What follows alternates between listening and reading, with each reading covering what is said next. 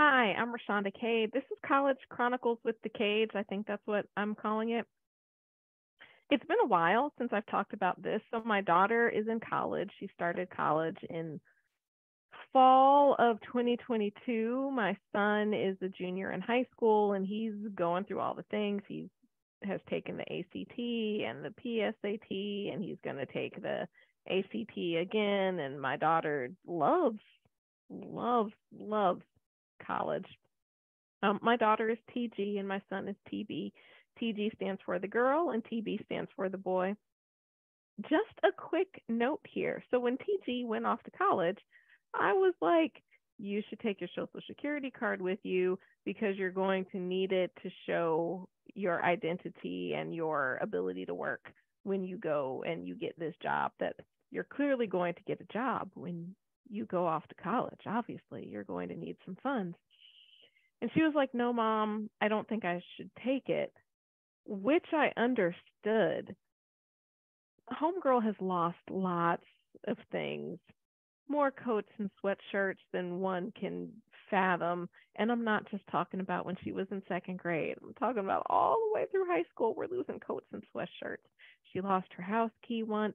And this isn't to smash my daughter. She is a wonderful, brilliant, God loving human, and I am excited for her and her journey.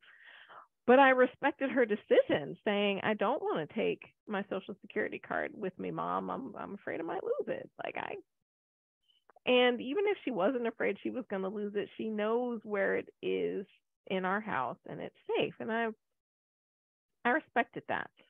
And I was like, but what are you going to do when you get a job and you need to prove your identity? And she was like, can't I just show a picture of my social security card? And I was like, I don't think so. It's like I've had college students work for me and I needed to see the actual card to be able to verify their identity. But she she made an adult decision and chose not to take it with her and I wasn't mad at her about that. So for her whole first semester, we're like, um, when you gonna get a job? How are you funding your outings with your friends? What's what's going on? And she said, you know, I'm just trying to get myself settled, see what college is like, understand what's going on before I get a job. Again, another decision that I respected.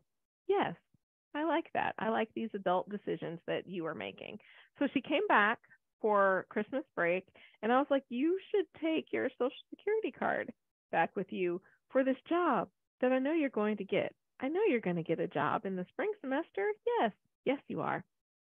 And again, she was like, I've talked with people, mom, and they said I can just show a picture. And I was like, I'm pretty sure that's not how it works, but okay. We're going to we're going to go with that and you're making decisions and I don't have to agree with them, but I respect the decisions that you're making. And in the back of my mind, I was like, at some point, I'm going to have to send the social security card to you or drive it to you or something because you're going to need it because they're not going to accept the picture. But I was like, eh, let's see what happens. So she lined up a job. Woo woo! Congratulations. Good for you, homegirl. And she showed them the picture.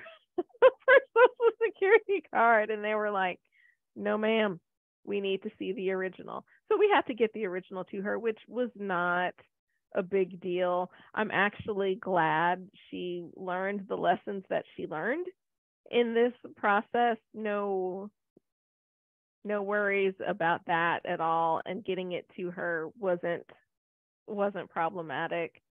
But just a note that if your child going off to college is hesitant about the responsibility of holding on to their social security card, encourage them that they can do it and that they're going to need it and all is going to be well or not. You know, you know your kid and your kid knows what they want to do. But anyway, that was just a recent adventure for us and it was we have had other things with like testing with TB and stuff. I'll try to do this a little more frequently. So, anyway, I'm Roshaunda Cade. This is College Chronicles with the Cades. Until next time.